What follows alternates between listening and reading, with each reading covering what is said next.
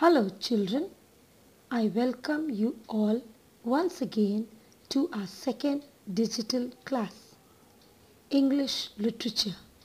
Today I will be teaching you a poem. The name of the poem is Slow Fast Song. This is an enjoyable action poem. It talks of action words like clapping, waving, rolling and patting. It also talks of slow and fast movement. Now I will read out the poem for you. Slow fast song.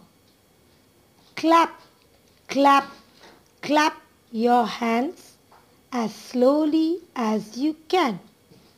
Clap, clap, clap your hands as quickly as you can.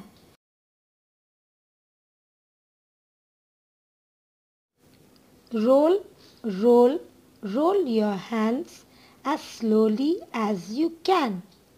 Roll, roll, roll your hands as quickly as you can.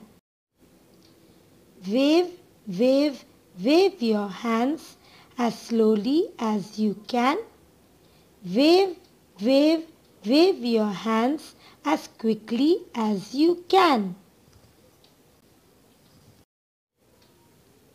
Pat, pat, pat your face as slowly as you can. Pat, your face as quickly as you can.